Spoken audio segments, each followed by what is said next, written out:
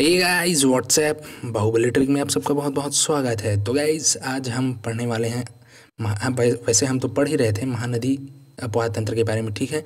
और हमने महानदी के बारे में पहले जाना, उसके बाद उसकी सहायक नदी के बारे में हम जानने जान रहे थे। इसके अंतर्गत हमने शिवनाथ नदी के बारे में जाना और हसदेव नदी के बारे में जाना, ठीक है? और बाकी जो सहायक नदियाँ बची हुई हैं, उसको आज इस पूरी वीडियो में कवर किया जाएगा। ठीक है? तो चलिए फिर स्टार्ट करते हैं। तो अगला सहायक नदी है, वो है बुरई नदी। ठीक है? महानदी की अगला सहायक नदी बुरई नदी। इसका उद्गम होता है कोरबा क्षेत्र से। ठीक है? बुरई नदी निकलती कहाँ से है? कोरबा क्षेत्र से। और मिलती कहाँ पर है? महानदी में ये मिल जाती है। ठीक है? इमेज में आप देखते भी चलिए साथ में। उसके बाद आता है मांड नदी। ठीक है, कौन सी नदी? मांड नदी। ये कहाँ से निकलती है? तो ये सरगुजा ज़िले का मैन पार्ट नामक एक स्थान है, ठीक है, पहाड़ी है, पाट क्षेत्र है, पठारी क्षेत्र, ठीक? तो वहाँ से ये मांड नदी निकलती है है ना? और ये मिलती कहाँ पर है? तो चंद्रपुर में, महानदी में मिल जाती है। चंद्रपुर क्या? चंद्रहासनी, ठीक है, आपने गाना सुना होगा। तो चंद्रपुर नामक स्थान पर, जो कि जांजगीर चांपा ज़िले में है, वहाँ आके महानदी में मिल जाती है। ठीक है? और यही चंद्रपुर पर लात नदी भी आके मिल जाती है। तो इस तरीके से मांड नदी, महानदी और लात नदी का संगम स्थल कौन सा है? चंद्रपुर। ठीक है? तो फ़िलहाल हम तो मांड नदी के बारे में जान रहे हैं तो आइए जानते हैं। तो मांड नदी का प्राचीन नाम है मंदगा। क्या है? मंदगा। मांड नदी का प्राचीन नाम क्या है? मंदगा। इसकी लंबाई है 155 किलोमीटर। ठीक है? इसकी लंबाई कितना है? 155 किलोमीटर। तटीय स्थल। अच्छा शिवनाथ नदी की तो बता दीजिए, दो सौ नब्बे किलोमीटर। हसदेव, हमने पढ़ा कितना? एक सौ छिहत्तर किलोमीटर। महानदी, हमने पढ़ लिया कितना है? दो सौ छियासी किलोमीटर। छत्तीसगढ़ में और आठ सौ अंठावन कुल, है ना? तो इसको ऐसे करके आप रिवाइज भी करते चलिए तो आपको आसानी से याद होता जाएगा। उसके बाद तटीय शहर देखें तो चंद्रपुर शहर बसा हुआ है है ना? महानदी के तट में भी है और मांड नदी के तट में भी है, ठीक है?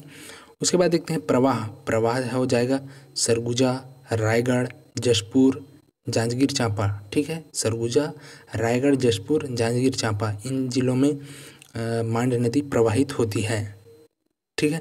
इसकी सहायक नदी देखें तो कोईराज और कुरकुट। ठीक है? कोईराज और कुरकुट, इसकी सहायक नदी है। जैसा कि इमेज में देखिए, कुरकुट और कोईराज किसमें मिल रही है? मांड नदी में जाके मिल रही है। है ना? उसके बाद कुछ विशेष बातें देख लेते हैं मांड नदी के बारे में कि मांड नदी घाटी कोयला भंडार के लिए प्रसिद्ध है। ठीक है? मांड नदी घाटी कोयला भंडार के लिए प्रसिद्ध है और मांड नदी घाटी में रायगढ़ में सबसे बड़ा कोयला खदान है। ठीक है? मांड नदी घाटी में सबसे बड़ा कोयला खदान कहाँ है? रायगढ़ में। और मांड नदी में सरभंजा जलप्रपात स्थित है, ठीक है? इन तीनों विशेष बातों को आओ, हम इमेज में देखते हैं। तो इमेज में आप देख सकते हैं कि मांड नदी में सरभंजा जलप्रपात है, ठीक है? और कोयला क्षेत्र भी है मांड नदी में, है ना? और रायगढ़ में, देखो, कोयला भंडार अगर सबसे ज़्यादा कौन से ज़िले में है, पूछे तो आपको लगाना है रायगढ़ ज़िले में। लेकिन कोयले का उत्पादन सबसे ज़्यादा कौन से ज़िले में होता है, ऐसा क्वेश्चन है तो आपको टिक करना है कोरबा ज़िले में। ठीक है? तो इस बात को आप याद रखेंगे। चलिए आगे देखते हैं। आगे है लात नदी। लात नदी का उद्गम रदन की पहाड़ी से होता है, महासमुंद से। और ये चंद्रपुर नामक एक जगह है, जांजगीर चांपा में, जहाँ पर महानदी से मिल जाती है। ठीक है? और ऊपर से ऑलरेडी आ रही है मांड नदी। और इस तरीके से संगम स्थल बन जाता है। इसको हमने कई बार अभी बात कर लिया। क्लियर उसके बाद आगे देखते हैं केलो नदी। ठीक है? केलो नदी। तो केलो नदी का उद्गम है लुड़ेक की पहाड़ी। ठीक है, रायगढ़ ज़िले में लुड़ेक की पहाड़ी है। वहाँ से ये निकलती है तहसील पूछे तो लेलुंगा तहसील, है ना? वहाँ से निकलती है केलो नदी। और मिलती कहाँ पर है? तो महादेव महानदी में मिल जाती है महादेवपाली नामक स्थान पर उड़ीसा में, ठीक है? उड़ीसा में जाके मिलती है, ठीक है? छत्तीसगढ़ में नहीं मिलती, है ना? याद रखना, उड़ीसा में जाके मिलती क्वेश्चन पूछ देगा कि इनमें से कौन सी नदी छत्तीसगढ़ में मतलब महानदी में नहीं मिलती। ठीक है दो तीन ऑप्शन दे दिया जाएगा जिसमें से एक रहेगा किलो और एक रहेगा हाँ एक रहेगा किलो। ठीक तो किलो ही आंसर होगा। यदि ईब रहा तो ईब भी आ, आ, आंसर हो जाएगा। ठीक है किलो नहीं रहा ईब रहा तो ईब आंसर होगा। और किलो और ईब दोनों हैं तो दोनों आंसर होगा। ठीक है क्योंकि दोनों महानदी में मिलती है उड़ीसा में जाके छत्तीसगढ़ में नहीं। क्लियर चलिए आगे देखते हैं। प्राचीन नाम प्राचीन नाम ऐसा नहीं है, मैंने भावनाओं में बहकर ये लिख दिया था, ठीक? तटीय स्थल देखें तो तटीय स्थल है रायगढ़, ठीक है? रायगढ़ से निकलती है, रायगढ़ में ही बहती है और रायगढ़ से निकल के डायरेक्ट उड़ीसा के महादेवपाली नामक स्थान पर जाके महानदी में मिल जाती है, ठीक है? तो प्रवाह क्षेत्र भी इस तरीके से रायगढ़ हुआ, है ना? विशेष बात जाने तो इसको रायगढ़ की जीवन रेखा कहते हैं, ठीक है? रायगढ़ की जीवन रेखा कहते हैं। केलो नदी में केलो बाँध है, जिसे स्वर्गीय दिलीप सिंह जुदेव परियोजना भी कहते हैं। ठीक है, केलो नदी में केलो बाँध भी है, जिसे स्वर्गीय दिलीप सिंह जुदेव परियोजना भी कहते हैं। अच्छा जब हम महानदी पढ़ रहे थे और महानदी की विशेषता जान रहे थे तो उसमें मैंने बताया था कि महानदी में रायगढ़ ज़िले में छत्तीसगढ़ का सबसे बड़ा पुल है या सेतु है। ठीक है, उस सेतु का नाम आपने कमेंट करके नहीं बताया तो कमेंट करके बताइए। ठीक है? अब सहायक नदी देख लेते हैं। किसकी सहायक नदी? मार, क्या बोलते केलो नदी की सहायक नदी, ठीक है? कौन सा है? कुलेड़गा और राजर, है ना? नाम में ही केलो, किलोड़गा राजर ऐसा है, ठीक है? तो केलो नदी की सहायक नदी है कुलेड़गा और राजर, इमेज में भी आप देख सकते हैं। ठीक है? उसके बाद पढ़ते हैं ईब नदी ईब नदी के बारे में, ठीक है? और चैनल को भी सब्सक्राइब कीजिए। इमेज में साइड में लोगो दिख रहा है है ना? तो ईब नदी के बारे में पढ़ते हैं तो उद्गम कहाँ से हुआ है? खुर्जा की पहाड़ी से, ठीक है? खुर्जा पहाड़ी पिंडरा पाट से हुआ है ईब नदी का उद्गम। और ये कहाँ पर है? ये जशपुर ज़िले में पड़ता है, ठीक है? यहाँ से दो नदी निकलती है है ना? खुर्जा की पहाड़ी से ईब नदी और क्या बोलते हैं एक एक और है जहाँ से कन्हार नदी निकलती है, याद नहीं आ रहा है। चलो आगे देख लेंगे। है ना? तो विसर्जन कहाँ होता है? ईब नदी का। वो होता है हीराकुंड के पास संबलपुर नामक स्थान में, महानदी में मिल जाती है, ठीक है? तो ये निकलती कहाँ से है?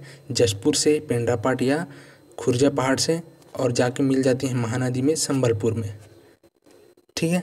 इसकी लंबाई की बात करें तो इसकी लंबाई है 202 किलोमीटर, टोटल लंबाई, ठीक है? टोटल लंबाई कितना है? 202 किलोमीटर। लेकिन छत्तीसगढ़ में सिर्फ़ सत्तासी किलोमीटर बहती है। ठीक है? और बाकी का जो लंबाई है, वो उड़ीसा में बहती है। जैसे महानदी का लंबाई कितना है? आठ किलोमीटर। लेकिन वो दो सौ छियासी किलोमीटर ही छत्तीसगढ़ में बहती है, बाकी उड़ीसा में बहती है। बिल्कुल वैसे ही ये भी 202 किलोमीटर का लंबा है, लेकिन सिर्फ़ सत्तासी किलोमीटर ही छत्तीसगढ़ में बहती है और बाकी उड़ीसा में बहती है। तटीय स्थल की बात करें तो ये जशपुर क्या बोलते हैं, जशपुर से ही निकलती है। जशपुर मतलब जशपुर ज़िले से निकलती है, जशपुर में बहती है और जशपुर के बाद ये भी उड़ीसा में चली जाती है। ठीक है, प्रवाह क्षेत्र, उड़ीसा। सहायक नदी में देखें तो मैनी और डोकी। ठीक है, मैनी और डोकी इसकी सहायक नदी है। विशेष बात जाने तो इस नदी में सोने के कण पाए जाते हैं। ठीक है, जिसे स्थानीय सोनझरिया जनजाति द्वारा संग्रहण किया जाता है। ठीक है, ईब नदी में के में जो बालू है, रेत है, मोरंग है है ना? उसमें क्या पाया जाता है? उसमें सोने के कण पाए जाते हैं छोटे छोटे जिसको वहाँ आसपास रहने वाले जो सोनझरिया जनजाति है, उनके द्वारा कलेक्ट किया जाता है, संग्रहण किया जाता है। ठीक है? तो इस बात को याद रखेंगे। चलिए आगे देखते हैं दूध नदी। ठीक है? दूध नदी का उद्गम होता है मलाज कुंडम की पहाड़ी से, जो कि कांकेर में है। है ना? मलाज कुंडम की पहाड़ी कांकेर में है। और विसर्जन हो जाता है महानदी में, है ना? और दूध नदी का प्रवाह क्षेत्र है कांकेर। कांकेर में से ही निकलती है, कांकेर में बहती है और महानदी में मिल जाती है कांकेर में ही, ठीक है? विशेष बात जाने तो इसमें मलाज कुंडम जलप्रपात है। इमेज में भी आप देख सकते हैं कि मलाज कुंडम से दूध निकल, दूध नदी निकल रही है। रास्ते में पड़ जाता है मलाज कुंडम जलप्रपात और आगे चल के वो महानदी से, महानदी में मिल जाती है, ठीक है? उसके बाद देखते हैं सिलियारी नदी। सिलियारी नदी का उद्गम स्थल है धमतरी क्षेत्र। धमतरी से निकलती है सिलियारी नदी और विसर्जन तो ये महानदी में मिल जाती है। ठीक है? विशेष बात जाने तो धमतरी ज़िले में इस नदी पर माडम सिल्ली बाँध है, जो कि 1930 में बनाया गया था। ठीक है? 1930 में माडम सिल्ली बाँध है, उसको बनाया गया था। देखो, डैम वैम के बारे में हम डैम वाले चैप्टर में, परियोजना वाले चैप्टर में पढ़ेंगे पूरे डिटेल से। ठीक है? इसमें बस छोटा छोटा हिस्सा उठाया गया है। और इस माडमसिल्ली बाँध को बाबू छोटेलाल श्रीवास्तव परियोजना भी कहते हैं, ठीक है? पिछले साल, नहीं, पिछले साल का पिछले साल इस बात की घोषणा भूपेश बघेल द्वारा की गई थी कि अब माडम सिल्ली को हम क्या कहेंगे? बाबू छोटेलाल श्रीवास्तव परियोजना कहेंगे, ठीक है? तो इस बात को भी आप याद रखेंगे, इमेज को भी देखते चलिए ताकि आसानी से आपको याद हो जाए। उसके बाद देखते हैं पैरी नदी, ठीक है? पैरी नदी तो पैरी नदी का उद्गम हुआ है भ्रातृगढ़ की पहाड़ी गरियाबंद से। ठीक है? कौन सी? पहाड़ी से भ्रातृगढ़ गरियाबंद से ये निकलती है और राजिम के, राजिम में आके महानदी में मिल जाती है। ठीक है? विसर्जन कहाँ होता है? राजिम में और महानदी में। ठीक? प्राचीन नाम इसका है पलासनी, पैरी नदी का। प्राचीन नाम क्या है? पलासिनी। और इसकी लंबाई है नब्बे किलोमीटर। ठीक है? पैरी नदी का लंबाई कितना है? नब्बे किलोमीटर। प्रवाह क्षेत्र क्या है? तो प्रवाह क्षेत्र है गरियाबंद, है ना? सहायक नदी है सोंढूर। जो सोंढूर है, वो पैरी की सहायक नदी है। और पैरी में मिलने के बाद इन दोनों की संयुक्त धारा जाके महानदी में मिलती है राजिम के पास। ठीक है? उसके बाद विशेष बात जाने तो पैरी नदी पर सिकासार परियोजना है। ठीक है? पैरी नदी पर सिकरसार परियोजना यहाँ पर होना चाहिए। मैंने बनाना भूल गया। ठीक है, ये क्या है? सिकासार परियोजना है। क्लियर पैरी नदी के तट में सिरकिट्टी आश्रम के निकट बंदरगाह प्राप्त हुए हैं। ठीक है? पैरी नदी के तट में सिरकिट्टी आश्रम के निकट बंदरगाह प्राप्त हुए हैं। ठीक है? तो इस बात को भी आप याद रखेंगे। क्लियर उसके बाद आगे देखते हैं, सोंढूर नदी। तो सोंढूर नदी का उद्गम हुआ है नरियर पानी से। इसके भी दो स्रोत माने गए हैं। एक तो नरियर पानी गरियाबंद और दूसरा नवरंगपुर कोरापुट, जो कि उड़ीसा में पड़ता है। ठीक है? इन दोनों बातों को याद रखेंगे। और विसर्जन कहाँ होता है? तो पैरी नदी में मिल जाता है, क्योंकि पैरी नदी की ये सहायक नदी है। और ये दोनों नदी आपस में मिल के फिर राजिम नामक स्थान पे महानदी में मिल जाती हैं। ठीक है? प्राचीन नाम है इसकी सुंदराभूति, जैसे पैरी का प्राचीन नाम पलासनी, इसका प्राचीन नाम सुंदराभूति। ठीक है? विशेष बात जाने तो इसमें सोंढूर परियोजना है, जैसा कि इमेज में आप देखें सोंढूर नदी में सोंढूर परियोजना है। ठीक है? उसके बाद आगे देखते हैं सूखा नदी। ठीक है? कौन सी नदी? सूखा नदी। तो सूखा नदी का उद्गम सॉरी सॉरी सॉरी हाँ सूखा नदी। सूखा नदी का उद्गम कहाँ से हुआ है? तो वो हुआ है महासमुंद से, ठीक है? और विसर्जन कहाँ होता है? महानदी में, है ना? और इसकी सहायक नदी कौन सी है? कोडार नदी, इमेज में भी आप देखिए। और कोडार नदी में ही कोडार परियोजना निर्मित है, जिसको शहीद वीर नारायण सिंह परियोजना भी कहते हैं, जो कि महासमुंद में भी है। मतलब महासमुंद में ही है है ना? तो ये हो गया सूखा नदी की बात। आगे देखते हैं जोंक नदी। तो जोंक नदी का उद्गम हुआ है, इसके भी दो सोर्स हैं। एक है गौरागढ़ की पहाड़ी महासमुंद और एक सोनबेरा की पहाड़ी उड़ीसा। ठीक है? तो इन बातों को ध्यान में रखेंगे ऑप्शन के अकॉर्डिंग टिक करेंगे। विसर्जन, ये कहाँ पर मिलती है? तो शिवरी नारायण में, किससे? महानदी से, जहाँ पर ऑलरेडी शिवनाथ आके मिलती है है ना? तो इन तीनों नदी के संगम स्थल को क्या बोलते हैं? शिवरी नारायण ठीक है? जोग नदी की लंबाई है नब्बे किलोमीटर। क्लियर जोग नदी की लंबाई कितनी है? नब्बे किलोमीटर।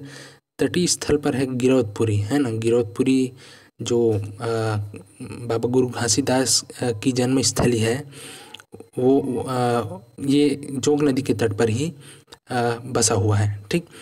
प्रवाह क्षेत्र की बात करें तो महासमुंद बलौदा बाज़ार ये है जोग नदी का प्रवाह क्षेत्र ठीक है?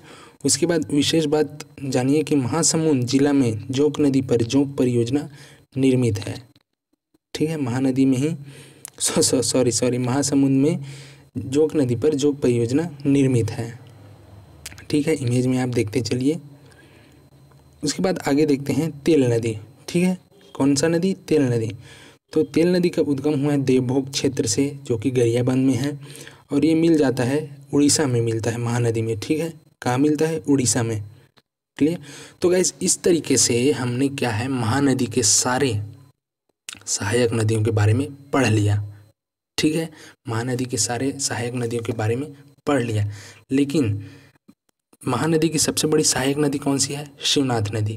शिवनाथ नदी भी अपने आप में बहुत बड़ी नदी है और छोटी छोटी नदियाँ आके उसमें आके मिलती है। ठीक है? तो अगले वीडियो में हम क्या देखेंगे? शिवनाथ नदी की सहायक नदियों के बारे में देखेंगे। ठीक है? एक छोटा सा ये इमेज देख लीजिए, इसको याद कर लीजिए। नेक्स्ट वीडियो में हम क्या करेंगे? इसके बारे में चर्चा करेंगे। Thank you